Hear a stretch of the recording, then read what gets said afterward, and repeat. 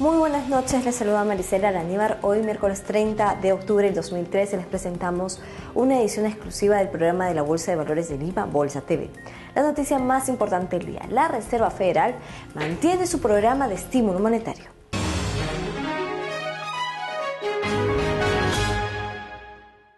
Los principales índices de la Bolsa de Valores de Lima cerraron la jornada en terreno negativo.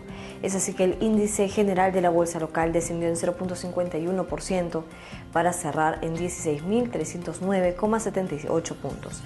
Asimismo, el índice selectivo cerró con retroceso de 0.25% para cerrar con 23.857,03 puntos. Por su parte, el índice nacional de capitalización, el INCA, bajó en 0.13%, cerrando con 90,91 puntos. Finalmente, el índice de un gobierno corporativo cerró con una pérdida de 0.19% para culminar con 147,36 puntos. A continuación, las acciones que presentaron mayores alzas seguidas por las que sufrieron un mayor descenso.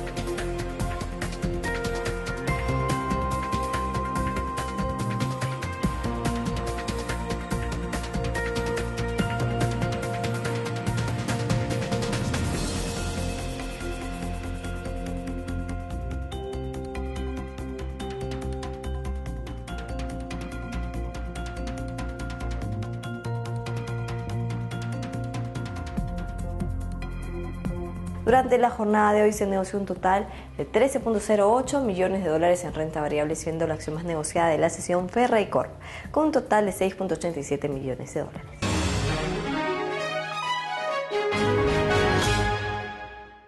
El precio de los metales preciosos cerró en terreno mixto, mientras que los metales industriales subieron. El precio del cobre aumentó a su nivel más alto en una semana impulsado por expectativas de que la Reserva Federal de Estados Unidos mantenga su programa de estímulos monetario por más tiempo para ayudar a la recuperación de la mayor economía del mundo. Respecto a los metales preciosos e industriales, vemos a continuación las siguientes cotizaciones.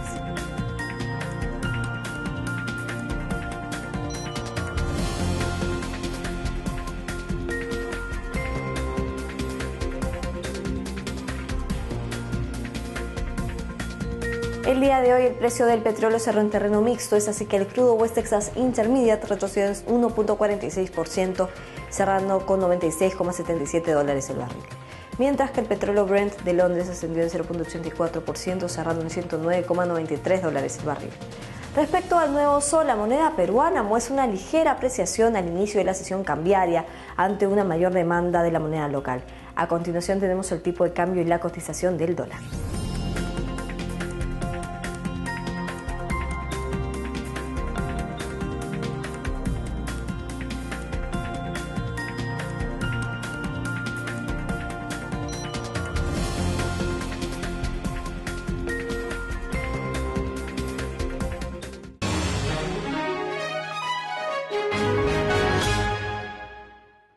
Los principales índices de la Bolsa de Valores de Nueva York cerraron la jornada en terreno negativo.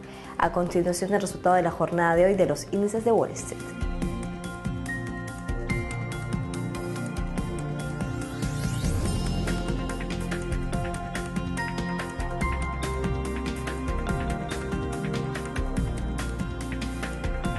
Por otro lado, los principales índices latinoamericanos cerraron la sesión con comportamientos mixtos, siguiendo una tendencia a la baja. Es así que el índice Bovespa de Brasil retrocedió en 0.67%.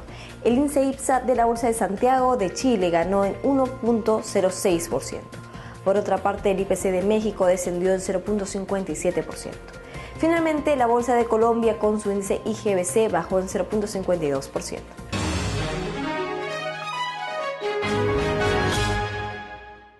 La Reserva Federal de Estados Unidos informó que seguirá comprando 85 mil millones de dólares mensuales en bonos del Tesoro y valores respaldados por hipotecas para apoyar a la desacelerada economía.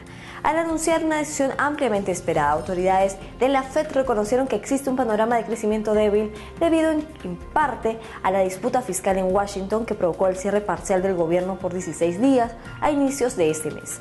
También han pesado sobre la expansión económica los mayores costos de endeudamiento ante las señales del Banco Central anteriormente en el año de que podría comenzar pronto a reducir su estímulo. Y entre otras informaciones, este 4 y 5 de noviembre se realizará el séptimo Expo Bolsa.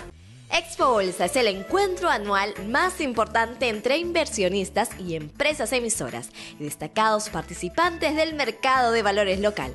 Con siete años de trayectoria, Expo Bolsa ha congregado a más de 16.000 visitantes y a una gran cantidad de empresas participantes y expertos del mercado financiero.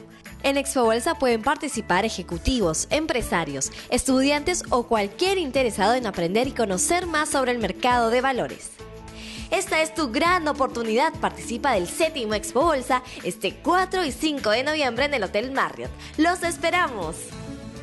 Más información en www.expobolsalima.com. No se lo pueden perder. Para mayor información, saben que tienen que ingresar a www.expobolsalima.com. Bueno, eso es todo por hoy. Agradecemos a Bolsa, Sociedad Agente Bolsa, por la información brindada en esta edición de Bolsa TV. Si desean tener mayor información, la pueden encontrar en la página web de la Bolsa de Valores de Lima, en www.bvl.com.p. Y también nos pueden seguir mediante las redes sociales como Facebook y Twitter. Nos esperamos el día de mañana.